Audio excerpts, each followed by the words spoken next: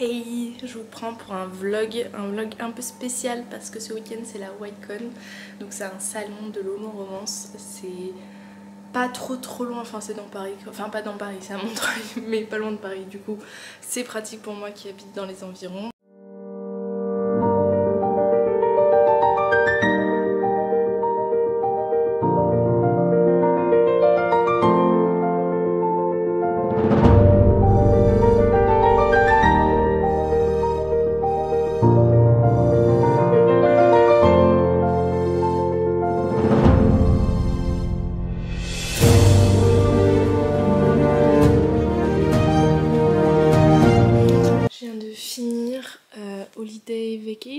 C'est ça J'arrive toujours pas à dire le titre. Holiday Romance, du coup, qui est une romance de Noël que j'ai vraiment beaucoup, beaucoup aimé. Euh, je vous disais, je crois que j'aimais pas trop les romances de Noël. Et là, j'en ai lu deux parce que c'était des services presse et j'ai beaucoup aimé. j'ai beaucoup aimé. Euh, le premier, c'est un gentleman pour Noël, mais je vais vous en parler plus parce que j'aimerais faire une vidéo du coup sur les romances de Noël. Ça, je suis sûre de vous l'avoir déjà dit, mais c'est pas grave, je me répète. Et euh, du coup, voilà, j'ai lu euh, Holiday Romance, je lui ai mis 5 étoiles parce que c'est une trop trop bonne histoire. Ça faisait hyper longtemps qu'il n'y avait pas eu une crise des 80% qui, qui, je trouvais, était aussi bien écrite, aussi bien réalisée. Elle était logique dans la suite des événements. Et ce livre, ce qui est trop bien, c'est que du début jusqu'à la fin, je trouvais que c'était cohérent euh, ce qu'on avait en termes d'histoire. Au début, c'est juste, j'ai l'impression que c'est deux amis qui se retrouvent, ils ont fait un voyage ensemble. Ils le font chaque année, c'est pour rentrer dans leur famille pour euh, fêter Noël. Ils s'aiment bien, mais ils se connaissent bien, mais au-delà euh, du voyage qu'ils font chaque année, ils passent pas forcément énormément de temps ensemble, mais tu sens que ils sont très attachés l'un à l'autre et en fait petit à petit on va les suivre dans ce voyage qui est plus compliqué que prévu puisque il va y avoir une tempête qui va faire qu'ils doivent contourner tourner l'océan pour pouvoir rentrer à Dublin, sachant qu'ils partent de Chicago. Et euh, du coup, ils vont faire plein de voyages, ils vont passer par l'Argentine, etc. en quelques jours.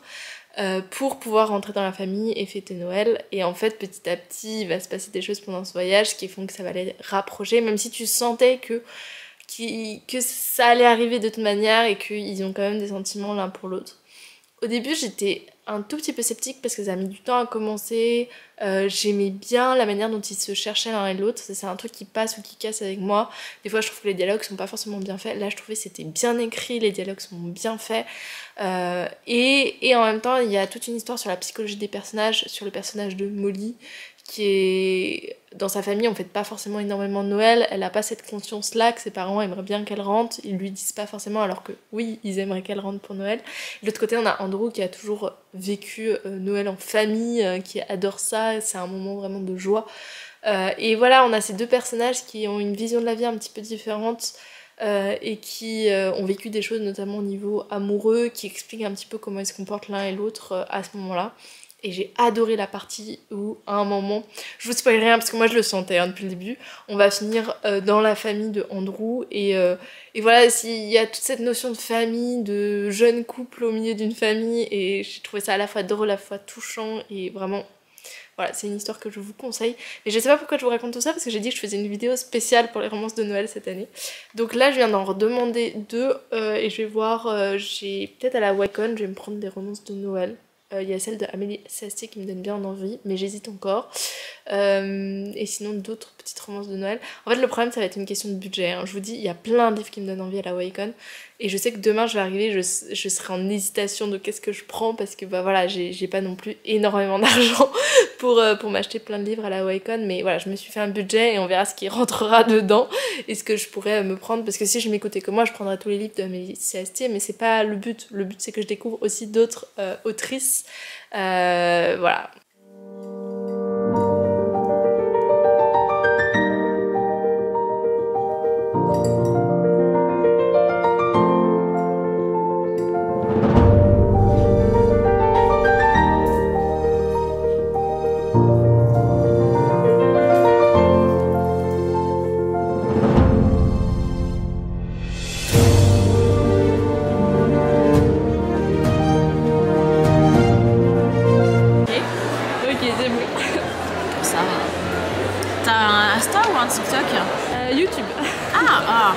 J'aime tellement les formats YouTube. Ça me manque.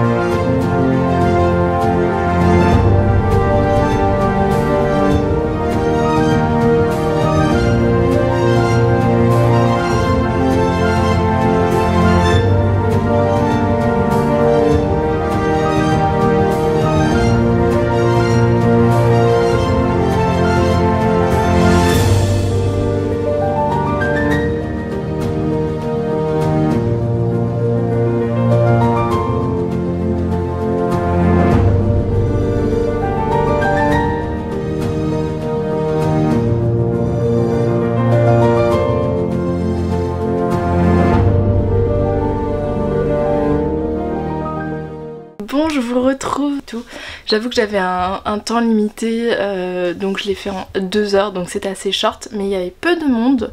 J'ai trouvé euh.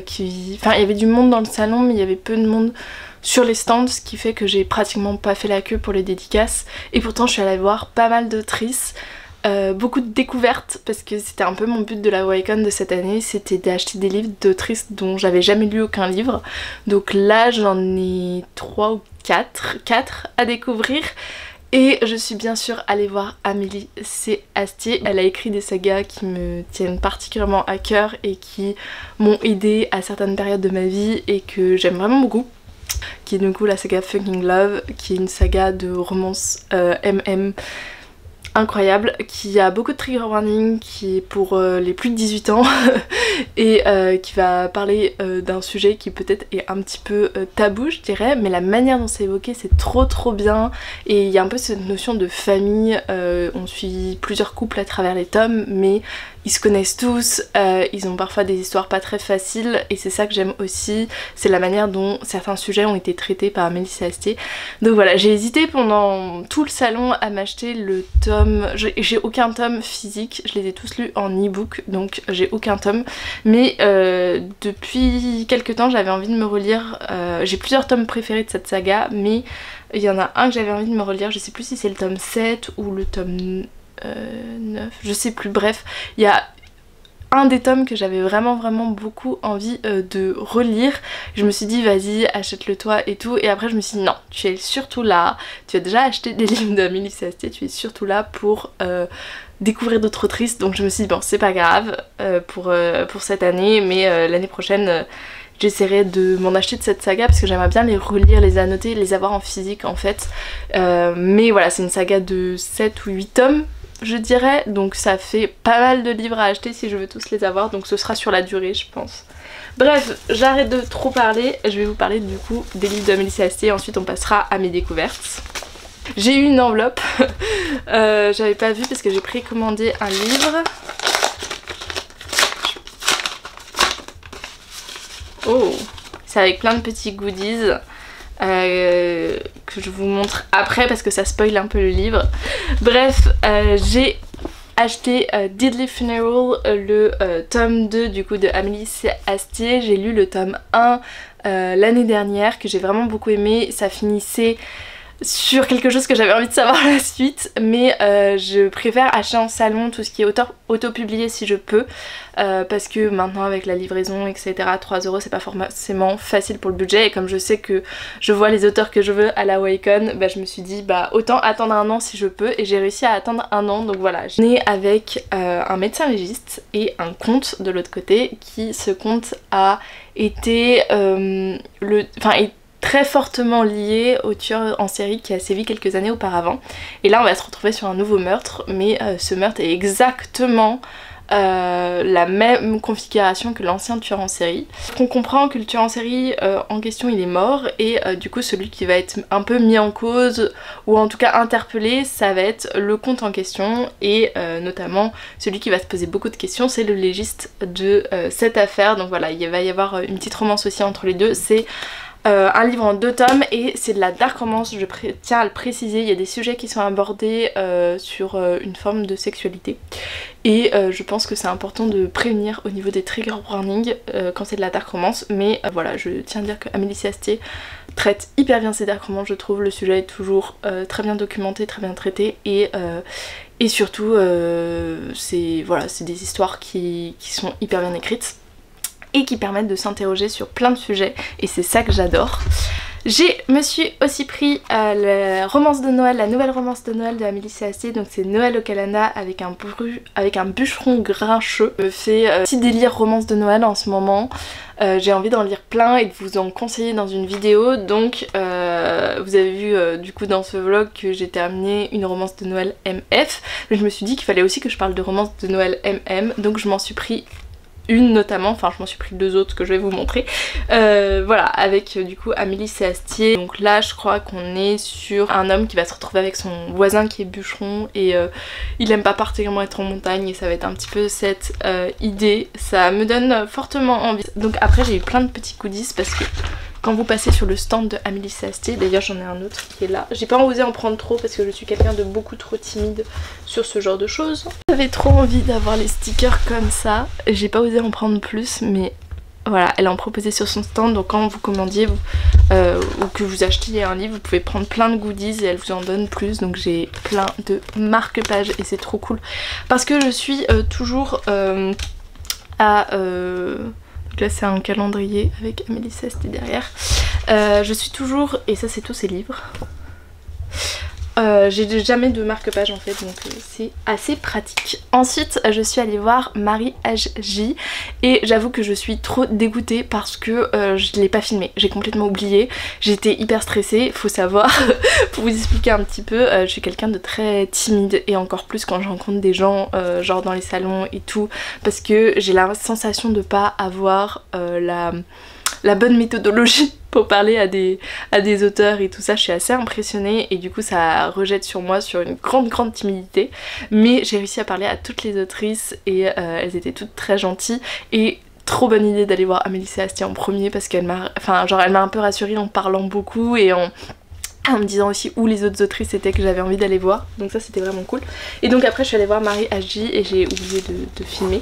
Mais, euh, mais voilà j'ai euh, pris cette roman je vous avais dit qu'elle me donnait trop trop envie. Donc c'est Shave Me euh, du coup de Ena L et Marie Agi elles sont deux à l'avoir écrit sur une histoire un peu rocambolesque qui me donnait trop trop envie.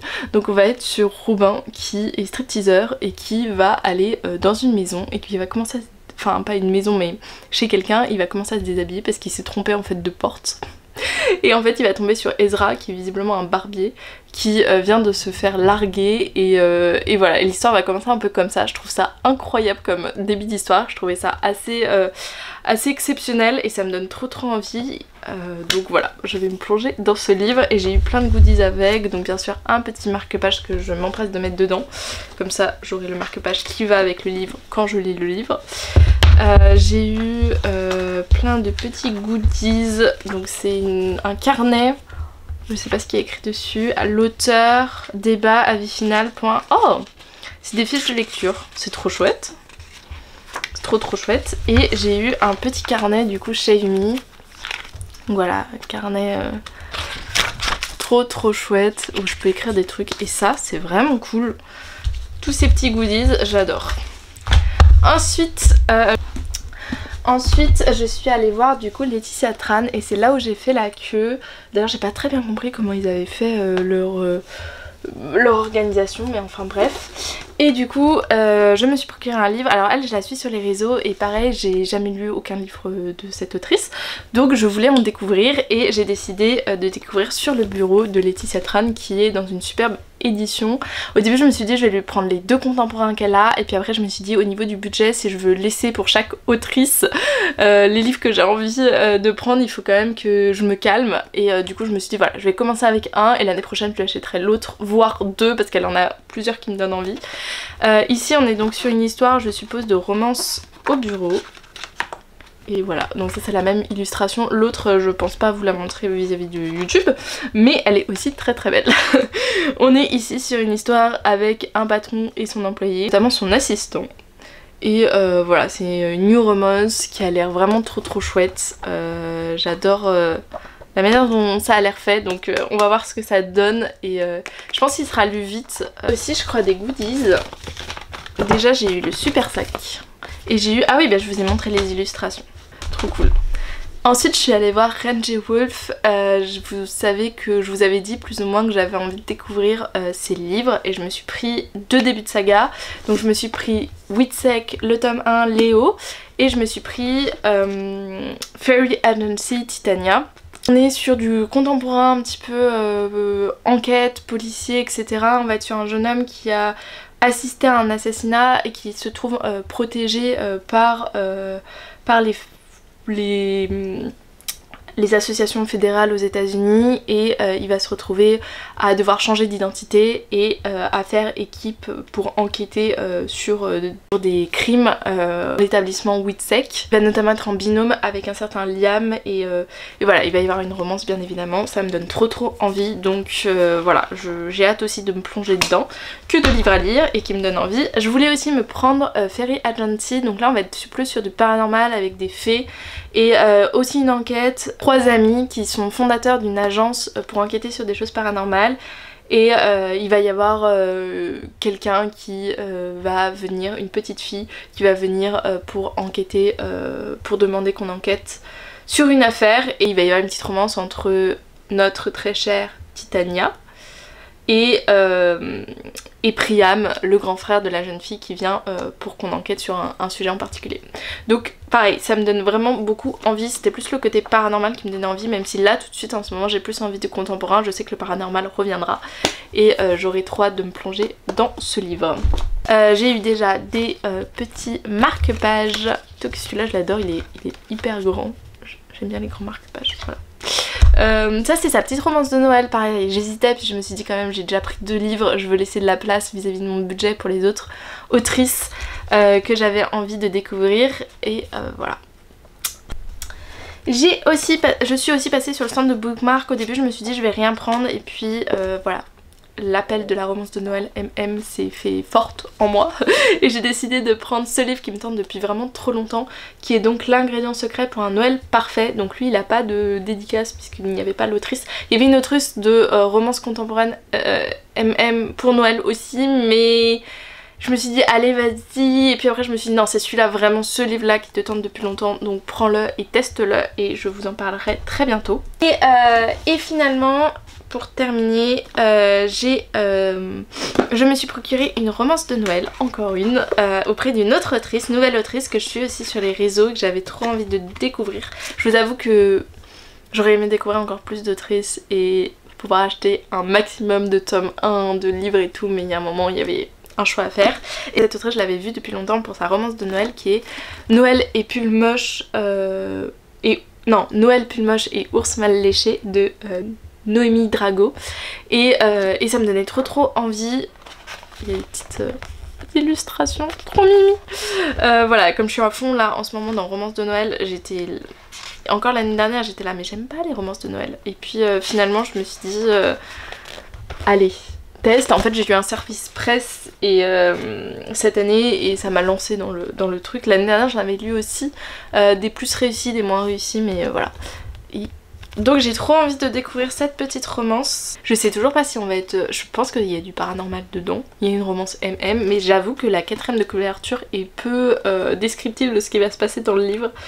Euh, on comprend qu'il y a, quelqu'un qui peut-être euh, métamorphe ou je ne sais pas, qui fuit et qui va aller dans une petite ville et qui va rencontrer Sawyer Bell. Et ça va être un petit défi parce que bien sûr il va y avoir un petit reprochement entre les deux. Donc voilà, ça a l'air trop trop bien. Donc que de livres De ce pas je vais aller lire mais juste avant du coup je voulais vous parler de ma lecture en cours qui est une romance MM. J'ai commencé hier euh, Top Secret de Serena Bowen et Elle Kennedy publié chez les éditions Bookmark.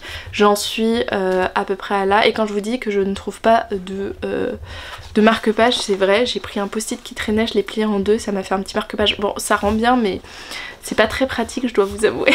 J'ai lu une centaine de pages hier soir avant de m'endormir. On est ici sur une romance où euh, on est aux États-Unis dans ce qu'on appelle les fraternités. Donc les fraternités, c'est euh, à peu près des sortes d'associations en fait, mais qui vont beaucoup plus loin. C'est un délire de on est tous ensemble, on vit au même endroit, on on est un peu forcé à être amis autour d'une association où on fait beaucoup la fête, où il y a plein de trucs qui sont organisés, etc. Et on va suivre deux euh, garçons dans cette fraternité. Donc l'un, il s'appelle Keaton et il est en couple.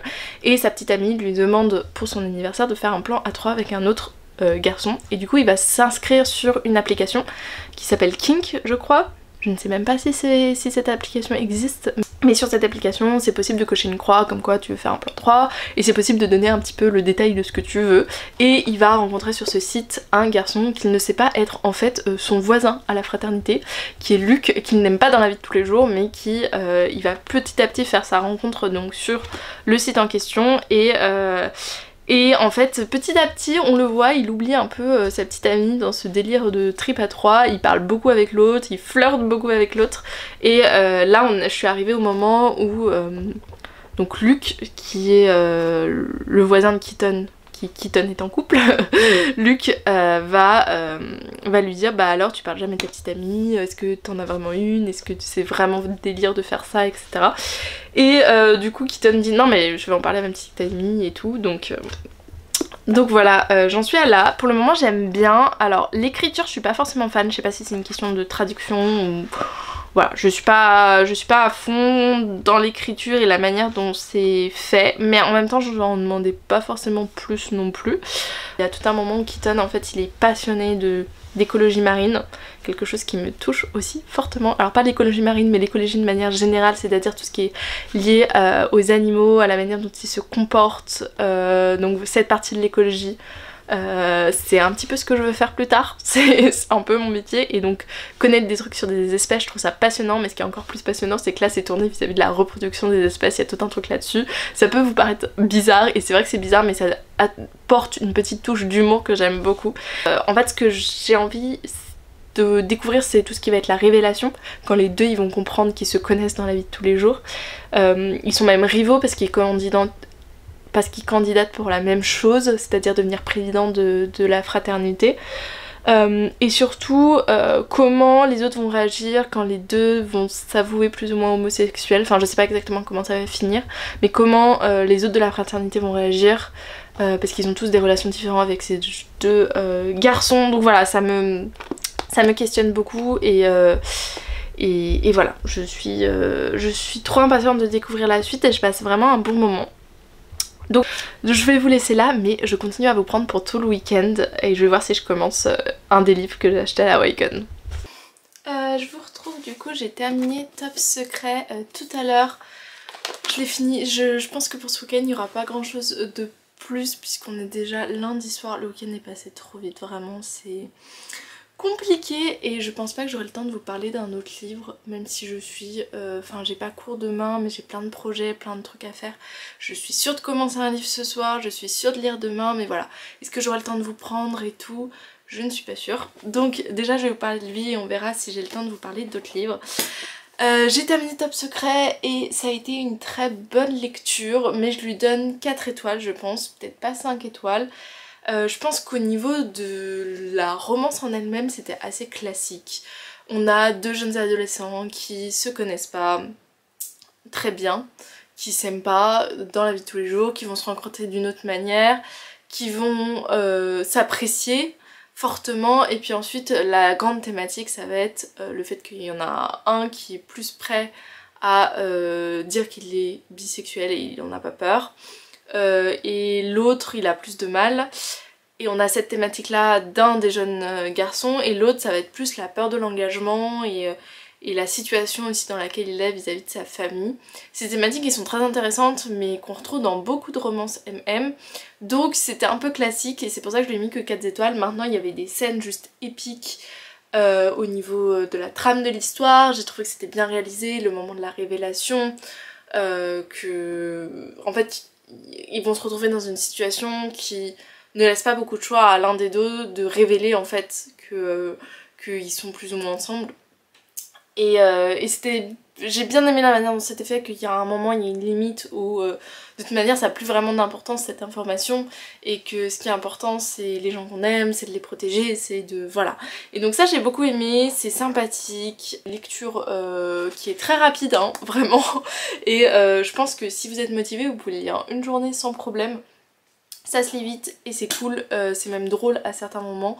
Il y a plein de moments où j'étais là, je disais attendez, ne me perturbez pas ma famille, j'ai un moment important là j'ai envie de lire. Donc ça montre que quand même j'ai fortement apprécié cette histoire. Et maintenant je lis quoi?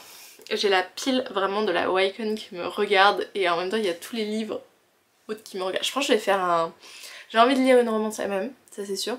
Je pense que je vais faire un petit euh, petit sondage Instagram, faut que je sélectionne 4 livres maximum je crois. Je crois qu'on peut pas en niveau de sondage en faire plus. Et je vais vous demander de sélectionner euh, un livre ma prochaine lecture. On va faire ça, je pense que ça va être une bonne idée. Bref sur ce je vous laisse, euh, je pense que c'est la dernière prise. Et euh, je, voilà, j'espère que vous avez aimé la vidéo, ma petite expérience de la Wycon. J'adore ce salon. Je pense qu'avec le recul et avec ce qu'il offre, c'est un de mes salons préférés. Déjà parce qu'il y a moins de monde. Moi j'y vais le dimanche. Et puis aussi euh, parce que c'est... C'est différent, je trouve que les autres salons, c'est plus convivial, je dirais. Et ce sera à refaire l'année prochaine si je peux. Je vous dis à très bientôt pour une autre vidéo. Salut